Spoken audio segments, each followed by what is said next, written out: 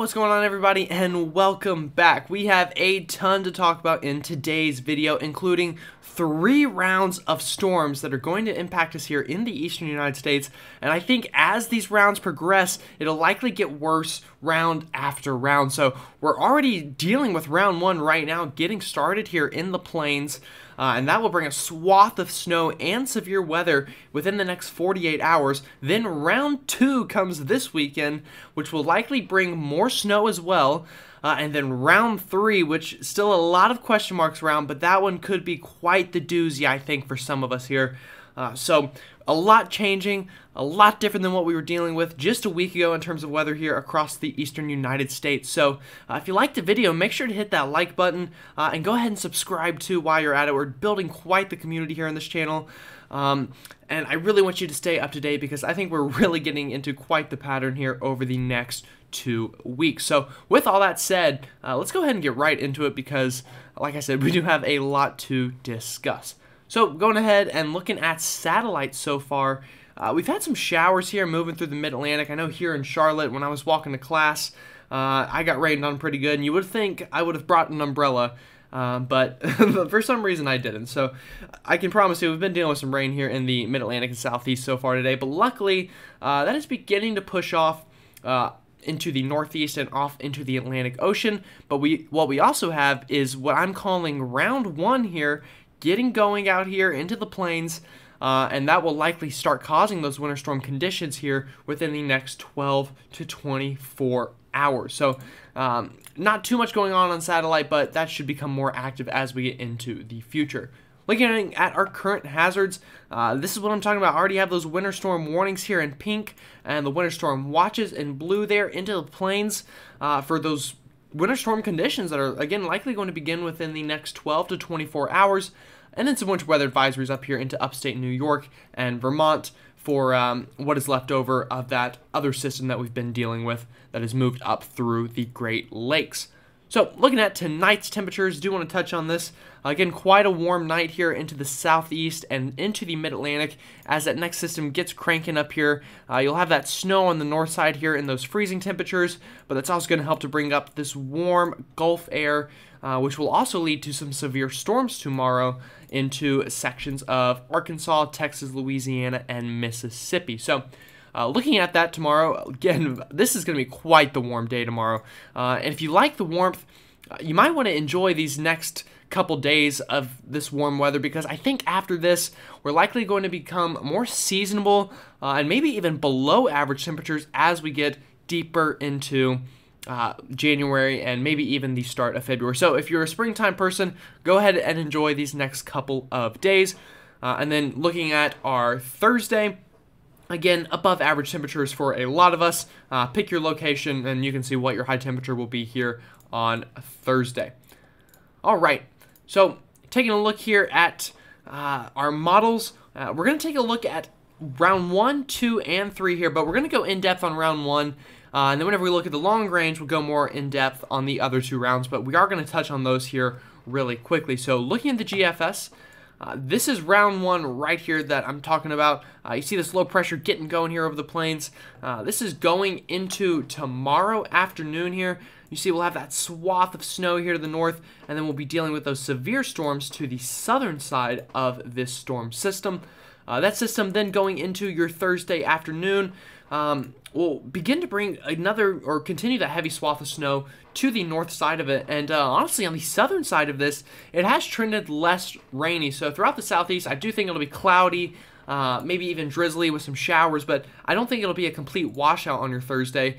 A bit of a different story here into the northeast where I think we'll have that heavier precipitation uh, combined with that snow on the north side. But as we get into your Thursday night here, uh, we get some of that snow to, de- excuse me, to develop here into New England, uh, and then as well as some heavy rain on the southern end of this. A place like Boston, really a tough forecast. They're going to be right on that rain-snow line with this storm, um, but the, this will then kind of phase a bit off onto the coast, and then we'll have this other secondary low uh, what that's going to do is keep some of that unsettled weather there into the northeast for a bit of an extended period of time. So uh, even on your Friday afternoon, still dealing with some back end snow on this. I think Boston will definitely get in on the back end snow of this, even if they don't on the front end.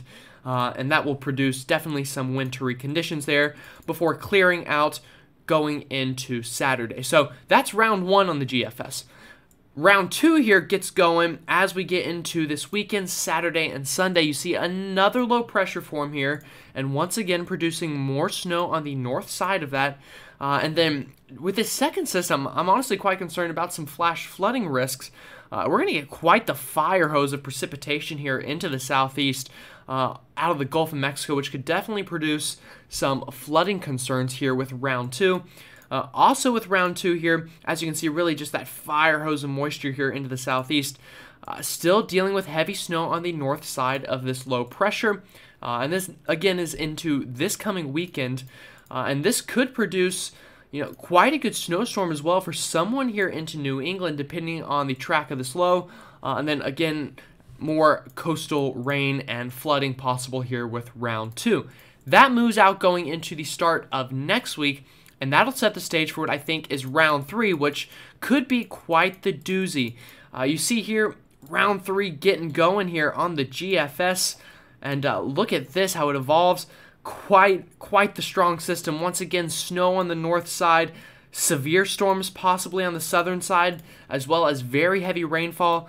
And this one, again, I think this one really could finally get us our first real snow here into the northeast this winter. Um, of course, we have plenty of time to map that out, but uh, I'm really intrigued here with this system going into uh, the 25th to 27th time frame of January. So we'll look at the same thing here on the Euro round one. Again, we've been talking about a lot, uh, dealing with that heavy snow on the north end of this within the next couple days, and severe storms tomorrow on the south side of this. As that continues to advance, that will clear out again about the same impacts the GFS shows, uh, but that clears out by this weekend. And then the Euro here setting up round two as well going into this weekend. And I, again, snow here on the northern side, and look at this fire hose of moisture. I want you to pay attention here into the southeast. All of this rainfall kind of training over the same areas there. Uh, we'll have to watch for that for sure. Euro here with round two brings this low a bit further south and east and produces quite the snowstorm here into New England. So a lot of discrepancies here, and this is less than a week out now um, between the GFS and Euro, and the Euro really cranks this thing up and gets uh, honestly near nor'easter-like conditions here into the interior northeast, uh, and quite the onshore flow with onshore flooding here into southeastern New England with this round two. So again, more impactful than round one. Euro really bombs that thing out, and then round three on the Euro really gets cranking here. And look at this storm.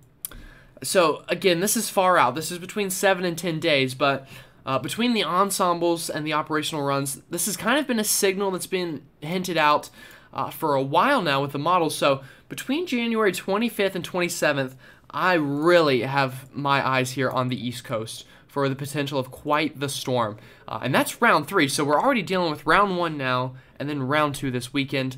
Um, so again, very active weather ahead of us. But going more in depth on round one, since that is more of the near-term impact before we then discuss more of the long range and those other two rounds. Uh, snowfall with round one here. Again, a good swath of snow here through the plains, Great Lakes, and into the northeast here. Uh, especially here into sections of Nebraska, I think really getting uh, really good snow on this near a foot there. Uh, and then 6 to 12 inches is a pretty safe bet here, I think, into the northern Great Lakes uh, and then likely 6 to 12 inches as well here into the areas of uh, New England that get that heavy snow. Right now, I think just north of Boston probably getting snow. Uh, or more considerable amounts of snow, but more of upstate New York, Vermont, and New Hampshire with this storm. Uh, and then Boston should definitely at least see some light snow on the back side of this. So that's the first threat with uh, round one here. We also have that severe weather threat with this system. So we'll take a look at that as well here.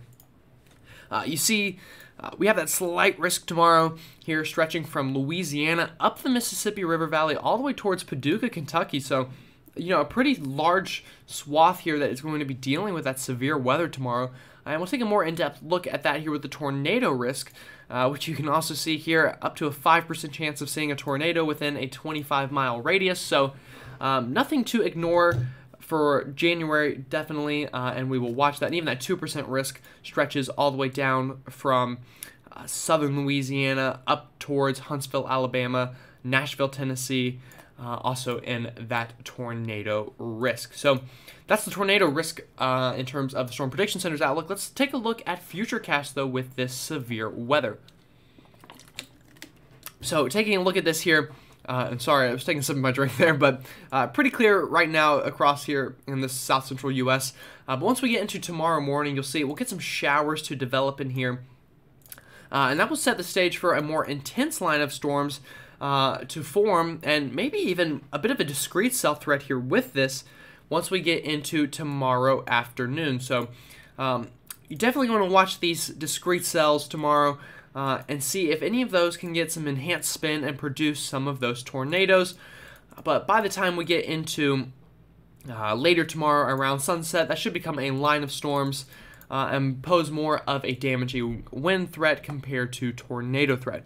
Looking at some of those significant tornado parameters for tomorrow, uh, you can see those numbers really start to flare up as we get into tomorrow afternoon here. I think definitely into southern areas of that uh, risk into Louisiana, Arkansas, Mississippi, definitely seeing the higher threat of those rotating thunderstorms. Uh, but once again, we clear out by the time we get uh, into tomorrow night. So another thing I want to talk about, and this is uh, with round one and round two is the rainfall threat. So again, I really expect a fire hose of moisture here into the southeastern United States. Um, the Weather Prediction Center here already putting probabilities of seeing, you know, anywhere from two to four inches of rain here into sections of Georgia and the Carolinas out of that system going into this weekend.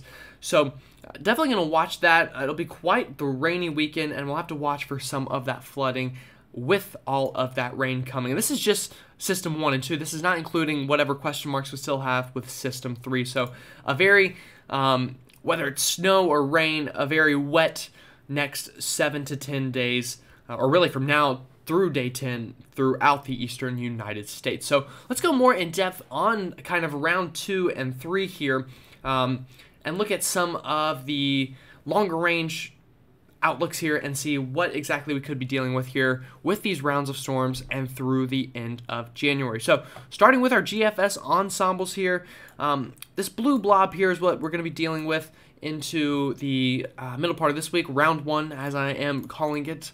Um, and then as we get further ahead into time here, going into this weekend, you see round two setting up here on the GFS. This is what is going to cause that fire hose of moisture into the southeast and potentially uh, winter storm conditions into the northeast. So uh, you see that kind of works its way up into the northeast.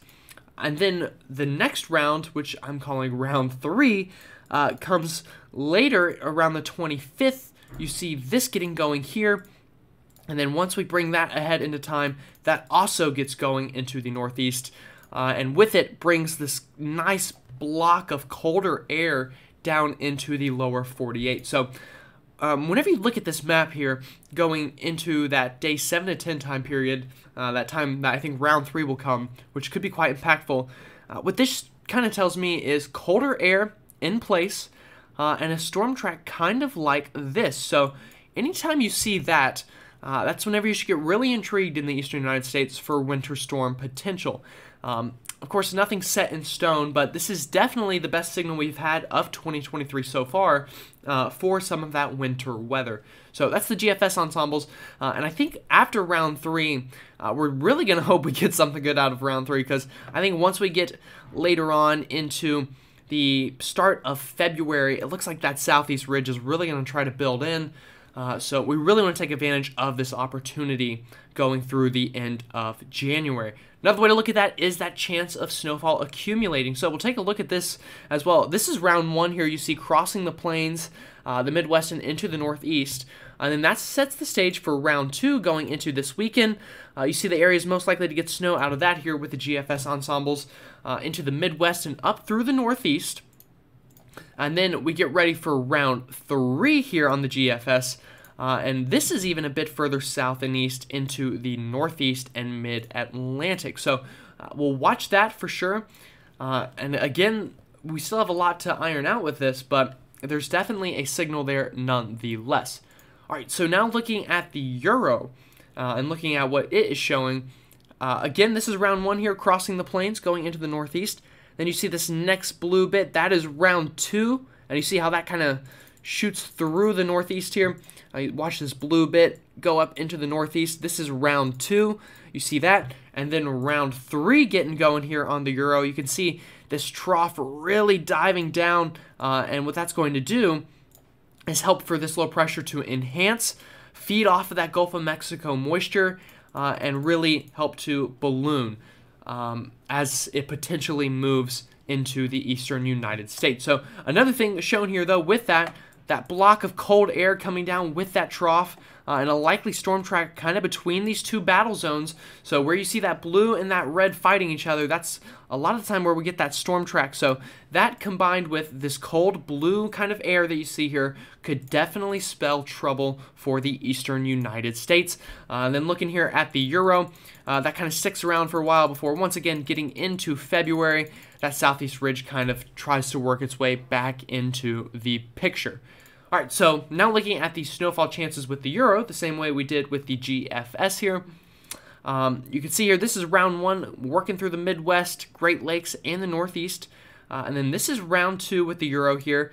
And you can see the Euro is a lot more bullish on this, getting those high probabilities, uh, very high actually here into the Northeast, into the interior Northeast especially for round two. Uh, and then maybe even down here into the mountains of North Carolina up through West Virginia here into this weekend. Uh, but once we get into round three here, uh, you can see we also get those chances to return to a lot of the same areas. So um, a lot to iron out here, but it looks like we get three rounds of storms here, uh, storms here to round out January, uh, and it really will be quite an active period. I can promise you that. Now, as to who and all sees snow out of this, uh, we still have to iron that out, but if we can get that super favorable track around the 25th to 27th, I think we could definitely get um, possibly our best storm so far this year here across the East Coast. So, with all that said, again, make sure you subscribe because um, I want you to stay up to date with all of this. Uh, and we really are building quite the community here. Uh, I've got some great people here, and um, we're really just we like to interact and talk weather. So also, if you like the video, make sure you like it and share it with anybody here that you know along the East Coast, uh, just so everyone is prepared for this changing pattern as we go through the end of January. But with all that said, uh, again, thanks for watching, and I will see you all tomorrow.